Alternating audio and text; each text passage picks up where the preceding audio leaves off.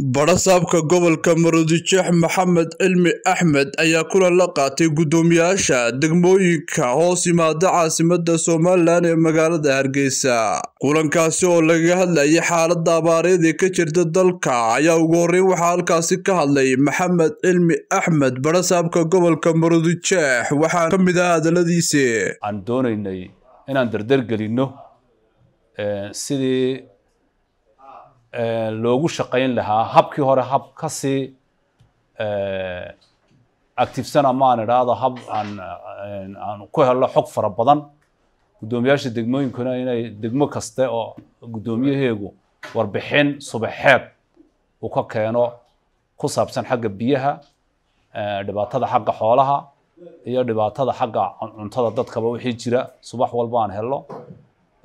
Degmo walbana waxa weeyaan sidii ay biyaha la gaadhsiinayo guddida heer qaran iyo dowladduba aada u dadaalayso gobolku uga mas'uulka yahay.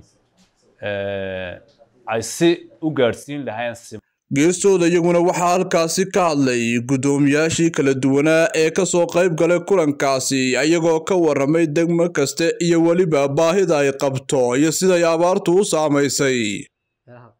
Meelo badan oo ceelale baa jira ceelashaasu dad mooyaane duunyo mooyaane dad ma cabi karaan.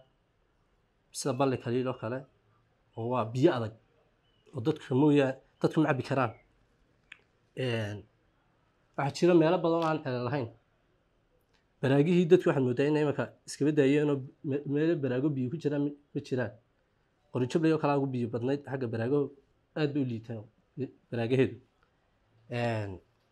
degmada booyad qura imanka laba booyadood baa shaqeynay booyad way jabtay booyadda labaad ee imanka soo hadhay baa xagga waqooyigan unbay aada uga shaqeysaa waxaana soo gaadhay ka degme ahaan booyaddii gobolku nagu wareejiyey booyaddaasu waxay nala joogtay muddo toddoba cishaa waxay dhaamisay saddex iyo toban lowd waxa waxay dhaamisay waxaanan u dhaaminay goobihii ugu jilicsanaa ee degmada goobaha aan dhaaminay waxaa ka mid a xarunta barakaca ee kaamka barakaca oonu shan lowd gaarsiinay waran cadde oo aanu gaarsiinay hal lowd libax qowdhama oo aanu gaarsiinay afar lowd xarunta magaalada oo dad jilicsani ku noolyihiin oonu saddex lowd gaarsiinay.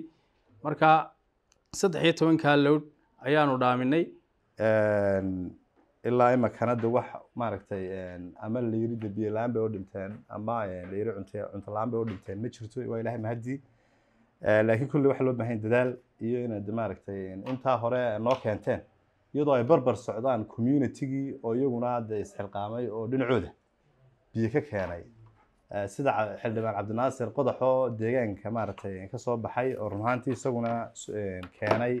Deeq biyaa dhowr iyo shan iyo soddon booydood meelaha keenay.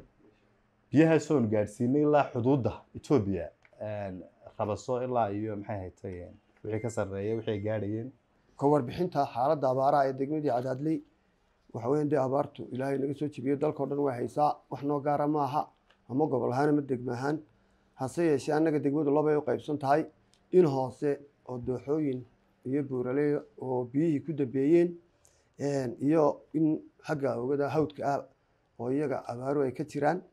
Marka labadaa qaybood bay kala tahay. Haddaba qaybta iminka had iyo jeer qayladu ka taagan tahay ee dhibtu haysta waa xagga sare. Halkaa waxaa ka jirta biyo yaraan iyo calaf la'aan iyo soo goorto badan oo timi.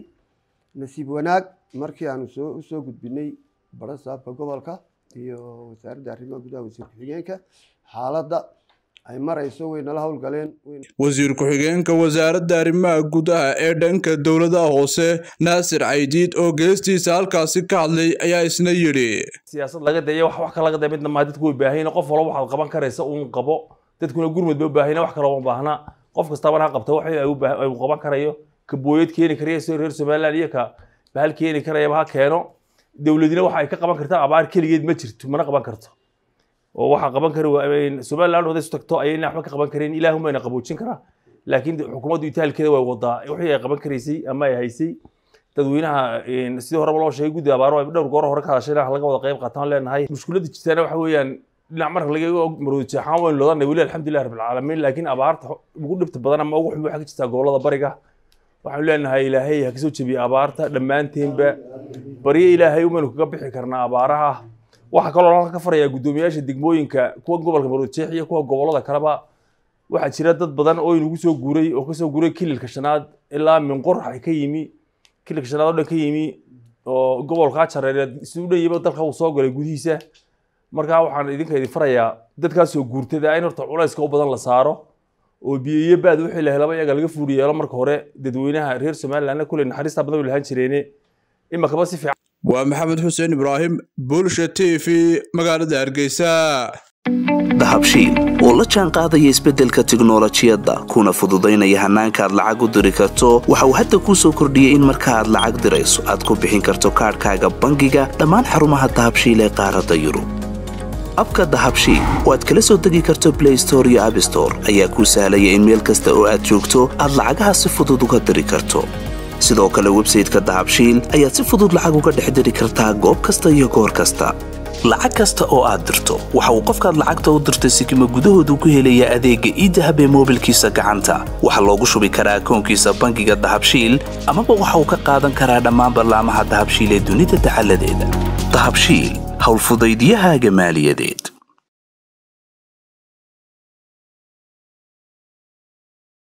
Hadal oo hadal oo hadal oo ku hadal. Bishii oo dhan toddoba dollar. oo keliya. Ku darso fariin kasta oo aad dirtaana waa kuu bilaash. Haddaba si aad ugu shubato adeega kaafiye fadlan garaac xidig siddeed eber siddeed afargees ama xidig laba eber laba afargees. Isticmaal shabakadda ugu ballaadhan geyga somalilan